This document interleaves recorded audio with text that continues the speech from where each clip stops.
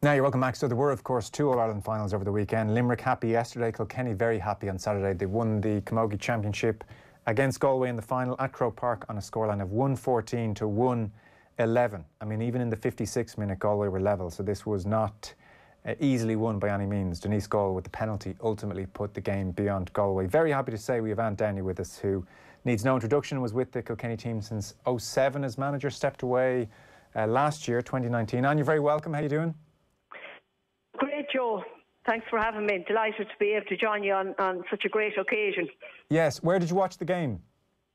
I was at Croke Park. I was lucky enough that I was with Nicky Brennan from um, Kilkenny Community Radio, who had asked me to go with him, and delighted that I was able to attend with him. Other than that, I would have been at home watching it like everyone else on the television. You don't want to over egg things, but at the same time, for this Kilkenny team, winners uh, twice in what four winners twice since 2016 it's a whole lot better than four losses in a row. I mean that would have really been a bitter pill for them to swallow. I mean look it's not an amazing record i'm sure they'll all say in the final but at least winning two out of you know the last however many finals uh, it puts a totally different sheen on this team as opposed to four losses on the bounce. It does uh, to be honest joe but and even uh, having said that 2016. I think they were there 2014 and 15 and didn't win either. Yeah. So for Camogie and Kilkenny, the win at the weekend was just so, so important, to be quite honest. Um, you know, there's only so many times that you can ask the girls to go back to the well, and, you know, it was such a hard job, you know, for, for Brian to again, you know, to go for another year. So mm. for for the Camogie, you know, to stay strong and uh, for girls to stay interested, um, it was really important to get the win.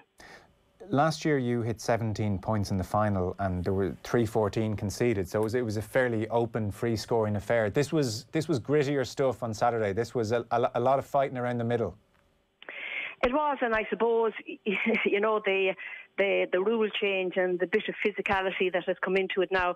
I'd have to say, last year we probably weren't ready for it. Uh, we didn't think it would be allowed, and we didn't think it would happen. But certainly, you know, Brian and the lads had the girls really well versed. You know, their training sessions at times were probably 15 against 17 or 18. And, um, you know, I spoke to Anne Dalton after it and she said, look, um, I was marking Kellyanne one night. Um, you know, I knew all about it. Uh, he had hmm. two on her one, another night, so um, she was well ready for the battle, and it was a fierce physical uh, encounter, but you know, a great game. Yeah, no, it was it was, it was gripping, and, and, as I mentioned at the outset, 56 minute Galway were level. Has it helped the game as a spectacle? Do you think that bit more physicality allowed? It has, it has. You know, you go back to, I suppose, the real disaster 2018 when there were so many frees and people left the game and left the ground, said they were never going to attend the Camogie match again. I think it was a great advertisement for Camogie. And, you know, congratulations to Limerick on their great win yesterday. But I would have to say that probably as a spectacle, the Camogie All Ireland on Saturday night was probably a better match. It certainly had more tension, that's to be sure. Like this Galway team are tough and they weren't going away, even though Kilkenny probably had the better of it for a lot of the game, not least the second half. They weren't quitting Galway. No, you know, and the worry was, you know, I had said all year, and I thought all year that Galway were probably a better team this year than they were last year. They had the McGraths back and uh, Rebecca Hennelly, you know, powerful players, and uh, six forwards, you know, that were well capable of scoring and being match winners on the day. But, you know, it was all down to the hard work, um, especially from our backline, to be quite honest. Claire Phelan uh, was absolutely brilliant. Uh, Megan at centre back had a, had a stormer. Um, you know, it's hard even to pick out one player out of the whole lot of them. You know, 36 on the panel, but there was uh, 17 that played on Saturday night, and to pick a man of the match or woman of the match, you know, was very hard. Um, but I thought, as a whole, the, the, backs were brilliant. To be quite honest, you know, they really fought Colette Dormer. You know, could you meet anyone more determined than Colette, and wouldn't you have her on your team any day? Um, but absolutely brilliant. Um, you know, the work rate, every single one of them, from Grace Wells going to uh, to centre the field was a real masterstroke. But both really, for me, for, for the Kilkenny team was uh, having Kellyanne Doyle back and to think that she was after doing her cruciate ligament in the league game against Cork earlier on in the year. Mm. The work that Dr. Martin O'Brien and Nicola Aylward, the physiotherapist, had have, had done with um, Kellyanne and her, Kellyanne herself, what she put herself through to get back there. And it was a real tonic for the Kilkenny team. especially after losing um, um, Katie Power you know, uh, Michelle Quilty, Edwina Keane, huge names from the team last year. Um, a real tonic for the girls, and Kellyanne had a, uh, had a mighty game at, at wing back. You'd have a great feel for this group as a, as a bunch of personalities, I suppose, and even just taking the final and even the semi final against Cork, there is a real ability there to dig in and grind it out, you know, that a, a great team needs. Geez, these have it. Like the, the semi final and the final on Saturday, like they, they're not fun occasions, they're roll up your sleeves territories.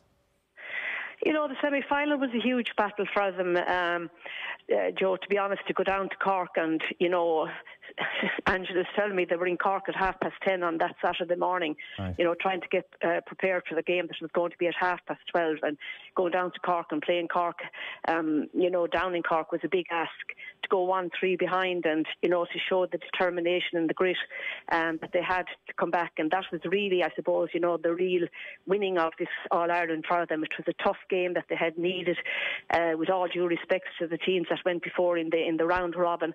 I suppose the girls were Um, they did have a good game against uh, Limerick, but at that stage, I think I suppose they had qualified. But to go down to Cork and to come out with a win, you know, just gave them such confidence and mm. uh, such a boost. Um, you know, it was it was really the makings of them.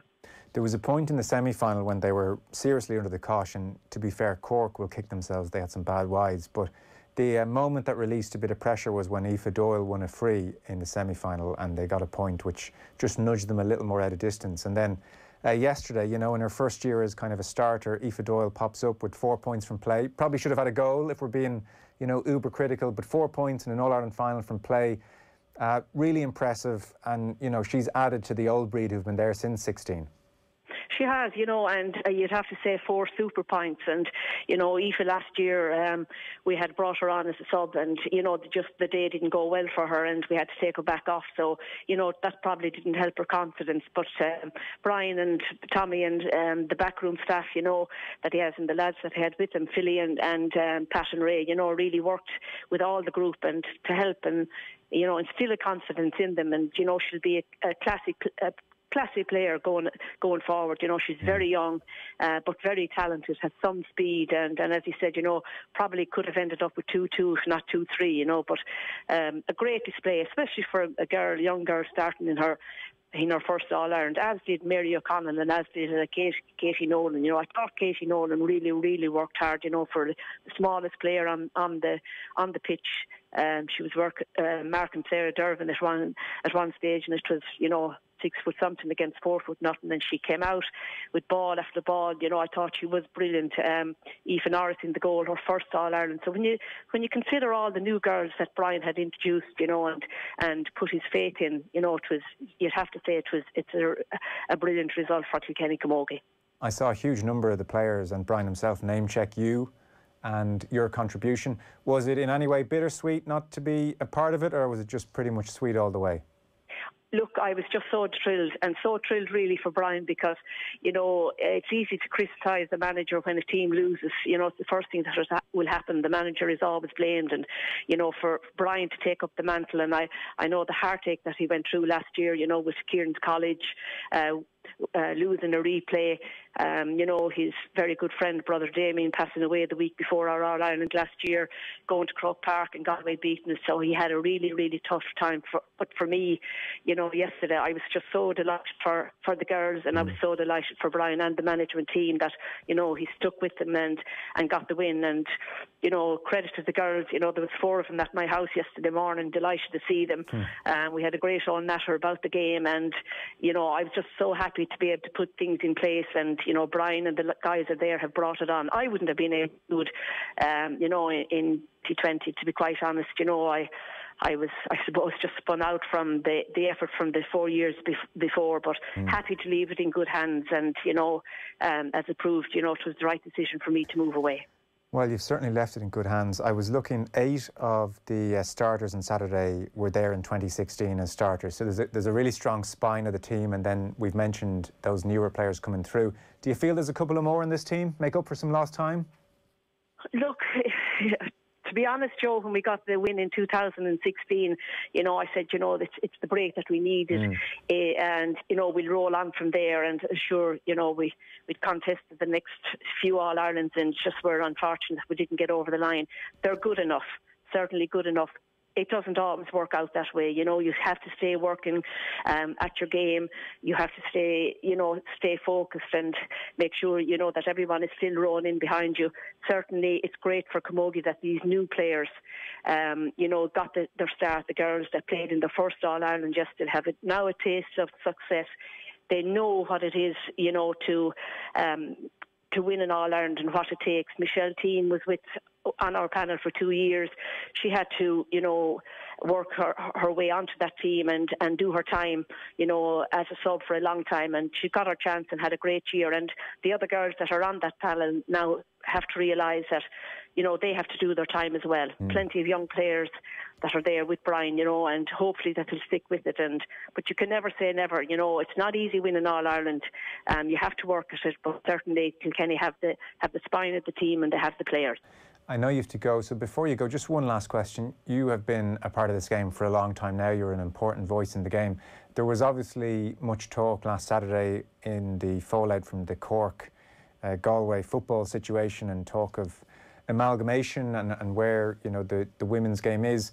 Uh, the, the, the pros seem fairly obvious that suddenly the women's game could plug into all of these facilities and be uh, catered for, whereas it would seem that like lots of teams are spending too much time phoning around, begging for a pitch, and that, that's no way to run things in 2020. Would you be in favour of an amalgamation bet between the three associations, and is that where it needs to go, or what would you like? I'd love to see it amalgamation. Um, you know, I've been saying it all the time, Joe, and I can certainly tell you from the experience that I had with working with uh, Ned Quinn and Jimmy Welsh, the, the hurling board in Kilkenny, they have nothing but um, you know, praise and encouragement for Camogie. Um, I think it is the way to go. It was, you know, disgraceful really what happened to the Galway team. Um, to think, you know, that they were travelling in their cars and they only got so much time on the to warm up. And I think everyone can work together. I keep saying that, you know, the heart of the GAA is, is the female uh, women that are behind the men, you know, pushing them, whether it is secretary, whether it is chairperson, whether it is washing jerseys. You know, we have such a, a, a part to play in the GAA that we really should all be under the one umbrella and be recognised, you know, for the great work that women do in, in the GAA. Mm. Yeah, well, I just saw the TV figures there. I think a quarter of a million people tuned in on Saturday to watch the game. So, you know, the, it, it's only progressing. It's just how quickly can we get there. Anyway, that's for another day. Listen, congrats. I know you were a, a, very happy onlooker, clearly, and you've more than played your part in Kilkenny's success. Ann Downey, thanks so much. Thanks, Joe, for, for, for calling. Just delighted for the girls. And, you know, again, congratulations to Galway. They're a, fa- uh, a fabulous team, and, you know, they're, they're not gone any place yet, but um, delighted for the Kilkenny girls. OK. Ann Downey, thank you.